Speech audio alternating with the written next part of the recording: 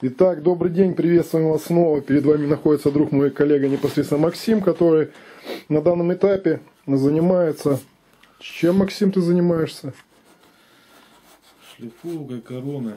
Шлифовкой короны. То есть вот так вот поэтапно, постепенно он занимается, получается, шлифовочкой короны. Наждачечку, как всегда, какую мы используем, Максим? Сотку. Соточку. Соточка получается, которая у нас находится на бумаге. Он использует, как я понимаю, какую, Макс, влагостойкую, да? Да, влагостойкая. Влагостойкая. Вот получается, он их себе заготавливает на режет на вот такие вот получается фрагменты. Вот так вот поэтапно, постепенно он все вышлифовывает. Как мне недавно, кстати, в Ютубе относительно шлифовки там расположили своеобразный комментарий. То что вы, ребята, типа заворачиваетесь, необходимо там бормашинку привлекать. Но вы знаете, мы когда прочитали данный комментарий, мы настолько просто улыбались и смеялись. Вроде это профессионалы говорят, но с другой стороны получается не профессионалы. Не занимайтесь, грубо, грубо говоря, получается ерундой. Какие бормашинки? Бормашинка и такие площади это нереально шлифовать. Бормашинки, вот как мы пробовали, у нас и сколько, штуки три, наверное, лежат. Мы пробовали их в разноракурсных положениях. И как показала практика, что ими можно, как правило, это, допустим, сложно, сложно доступные места залазить, да, бессомненно, да, угловые позиции, но в основном положении мы пришли к тому, что получается целесообразно это использовать что? Наждачка. Наждачечкой, под наждачечку делаются своеобразные приспособы, Этими приспособами получается, на них наносится, вернее говоря, либо клеится это наждачечки, либо налаживается. И таким образом получается все это шлифуется и все это вышлифовывается. Так что, как говорится, профи, к вам обращение. Не занимайтесь ерундой, не водите людей в заблуждение в бормашинке, чтобы они тратили колоссальные средства, и которые потом они ложат и, соответственно, они в практическом моменте себя не оправдывают. Бормашинка, кстати, ввиду того, что то есть мы, допустим, делаем духовные там четки с, там, с крестиками и прочее по эбониту, по кости, то там, допустим, да, создавать, э, тем более получается своеобразными борами и прочие рисунки, да, это целесообразно для своеобразной миниатюры. Так что в целом вот так вот, вот, вот таким вот образом Максим получается поэтапно, постепенно шлифует, вышлифовывает,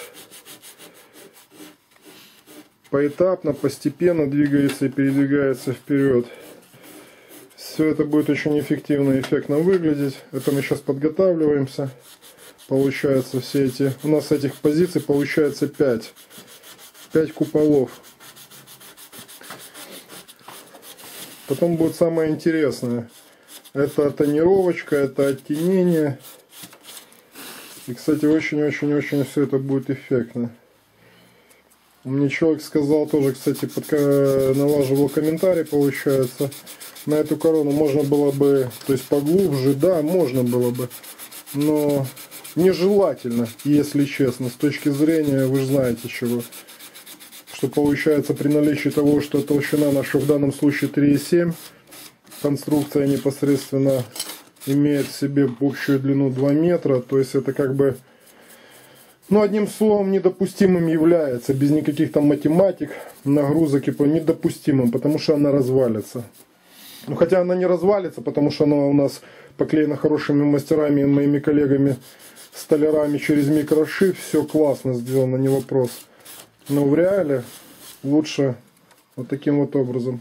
Показали, выразили, лоза нарезана, прописано, фрагментики, оттениться, тем более это на высоте будет приблизительно 5 метров.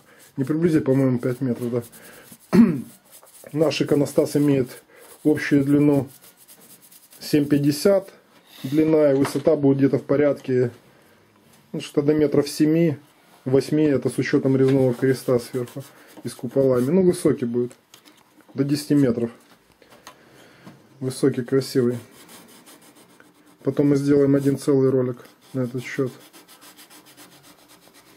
И вот так вот Максим стирает, стирает, стирает, стирает, шлифует.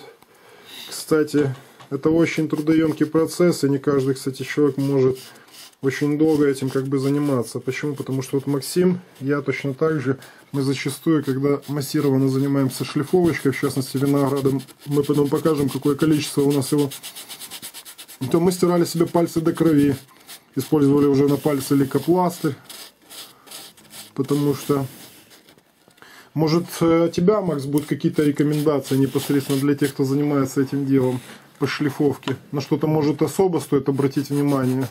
Ну, почему? Мы же не для профессионалов это все показываем. Профессионалы, понятно, они уже вывели для себя формулу правильности и прочее. Ну, мы как парни начинающие, только учимся. Ну да. Есть какие-то рекомендации, пожелания? Можете посмотреть в объектив и сказать. Ну вот на ваш взгляд, вот давай реально, на ваш взгляд, вот ну, ну, в частности на твой.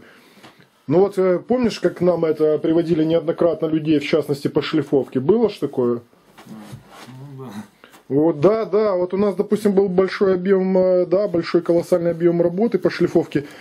И мы брали там на работу людей, получается. Вы знаете, вот скажем вам объективно, насколько их хватало? Ну да, на півдня.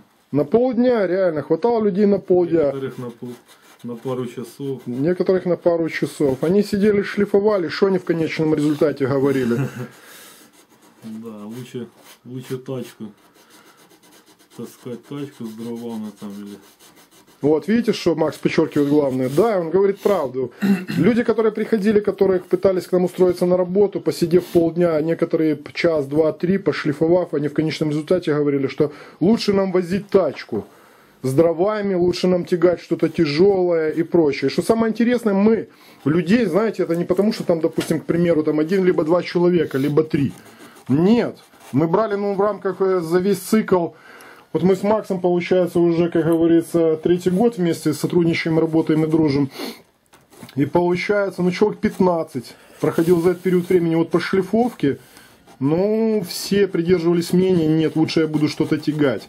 То есть точно так же, как и в резьбе, да, вот много людей, кто умеет резать. Но не каждый готов сесть на программу и заниматься изо, день, изо дня в день, изо дня в день. То есть человек здесь должен быть еще, как говорится, свыше предрасположен.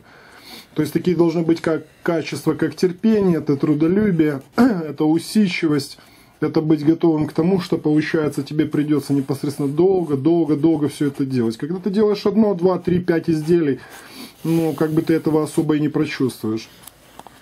Так что точно так же и в данном случае это очень кропотливый труд, и который в объективном порядке должен относиться к разряду очень высокому, по стоимости точно так же является в совокупности с учетом оформительной части, точно так же, как и шлифовки и прочее, прочее, прочее. То есть это должно быть в оплачиваемом положении весьма очень достойно. Ну, я считаю, что такой легкий обзор мы сделали. И напоследок мы скажем главное. Что мы, Макс, скажем главное? Ну, с праздником, да, поздравляем, С конечно. праздником, да. С праздником наилучшего, конечно же, вам всего. Новых заказов, новых проектов. Как говорится, самое интересное впереди. Ну все, покажем класс.